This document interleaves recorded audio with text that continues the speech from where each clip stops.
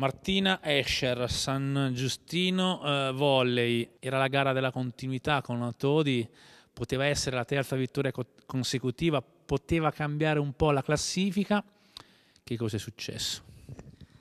Beh, sì, sicuramente era una partita importante, ma come, come, lo sono tutte. È successo soltanto che loro hanno giocato meglio di noi, con più convinzione, hanno portato a casa la partita.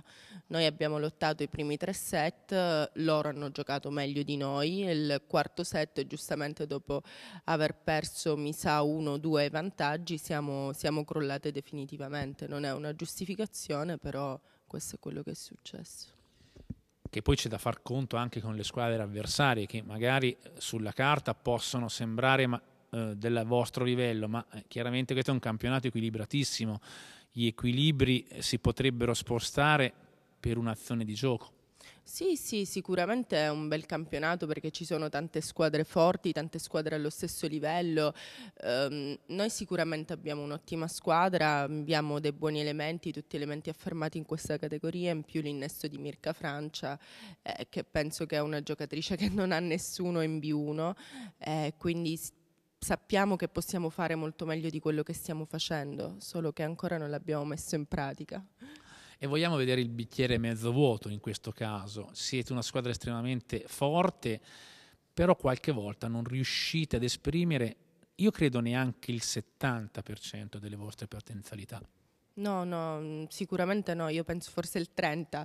Poi se parli, mm, cioè mm, personalmente penso che sto dando il 10%, quindi so che posso fare molto di più, ho voglia di giocare, ho voglia di allenarmi. E, tutta la squadra stiamo provando a capire qual- quali sono i problemi e cerchiamo di risolverli. È difficile rientrare in palestra dopo una sconfitta, però si deve cancellare subito, si va avanti, già pensiamo alla prossima partita con Roma.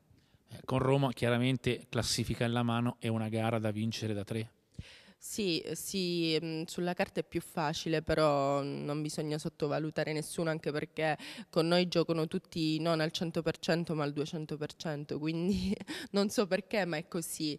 Eh, probabilmente perché nessuno ha nulla da perdere, per cui non, non dobbiamo sottovalutare, però sì, sulla carta sicuramente è più facile di quella della scorsa settimana e vogliamo andare a casa a Natale tutte tranquille, magari con sei punti in tasca sarebbe anche meglio.